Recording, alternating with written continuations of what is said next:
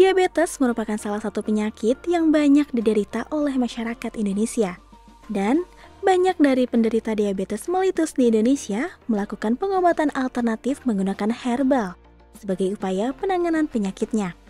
Tahukah Sobat IPB, jika saat ini ada suplemen yang berasal dari tanaman herbal yang diberi nama Sijaka? Lalu, apa itu Sijaka dan apa saja manfaatnya untuk kesehatan? Yuk simak tayangan IPBpedia berikut ini.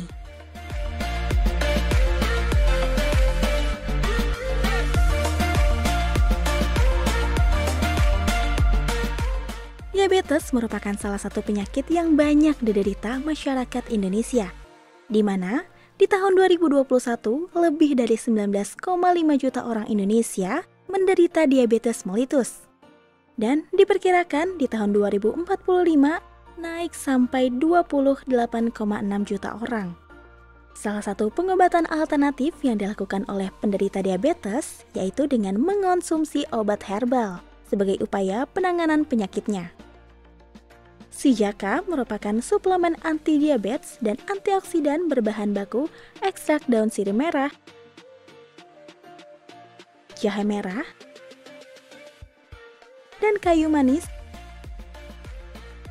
yang baik digunakan oleh para penderita diabetes.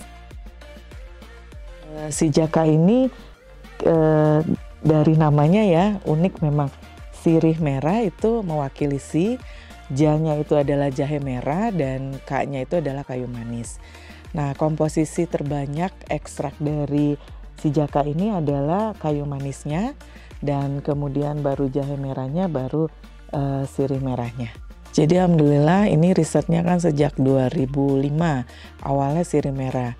Sirih merah ditemukan di riset in vivo-nya di tikus adalah menstabilkan kadar glukosa darah dengan cara memperbaiki sel beta pankreas. Kemudian untuk jahe itu adalah uh, di uh, meredam ya uh, inflamasi dan meningkatkan imunitas. Kemudian yang Kayu manis itu tadi bekerjanya adalah di uh, pencernaan untuk menghambat enzim glukosidase.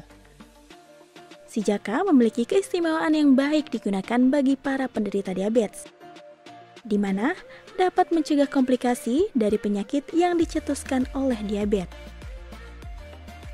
Ya, baik. Jadi dari sifatnya yang tadi bisa mempertahankan kadar lipid ya uh, tidak meningkat, menurunkan LDL dan trigliserida itu akan memperlambat atau mencegah terjadinya komplikasi.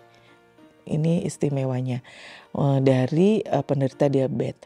Karena kan diabetes mellitus itu kita kenal sebagai mother disease ya. Yang perlu kita cegah adalah komplikasinya. Jadi antioksidan dan mempertahankan kadar lipid darah bagi si penderita diabetes ini bisa mencegah uh, komplikasinya itu.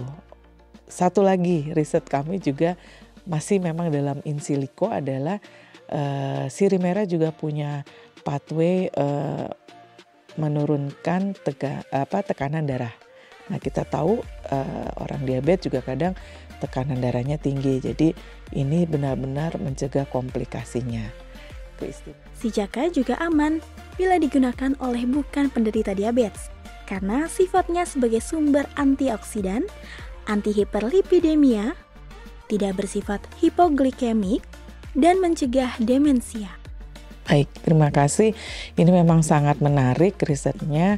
Kita menemukan bahwa hasil in vivo-nya pada tikus jika dikonsumsi oleh tikus normal yang tidak diabetes ini tidak menurunkan kadar glukosanya. Jadi tidak bersifat hipoglikemik. Jadi sifatnya adalah anti hiperglikemik jadi ketika sudah diabetes dipertahankan tidak naik lagi oleh si jaka ini bahkan diturunkan sekitar 40%. Nah, jadi selain selain tadi ya uh, untuk memaintain uh, kadar uh, antioksidan di tubuh kita karena uh, kita pasti dalam kondisi kehidupan yang sekarang kan paparan radikal bebas itu begitu banyak. Nah, ini bisa dimanfaatkan sebagai sumber antioksidan.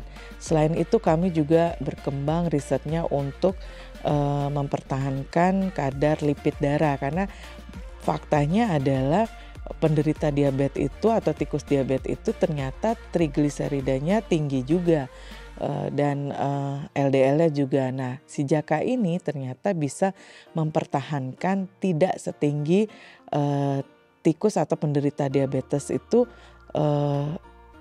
untuk kadar trigliseridanya dan kolesterolnya. Selain itu juga kami sudah uji in vitro bahwa memang sirih merah ini bisa menghambat sintesis uh, kolesterol dengan menghambat enzim HMG-CoA reduktase. Si Jaka diformulasikan dalam bentuk sediaan cair tetes.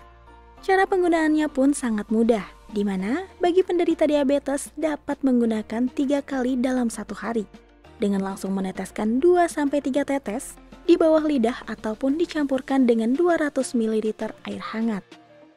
Jika Sobat IPB berminat untuk mencoba si Jaka, dapat langsung mengakses website www.sijakaipb.id untuk informasi lengkapnya.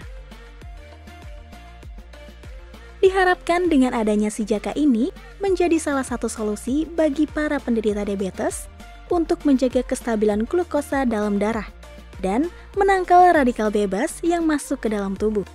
Si Jaka, sahabat hidup sehat.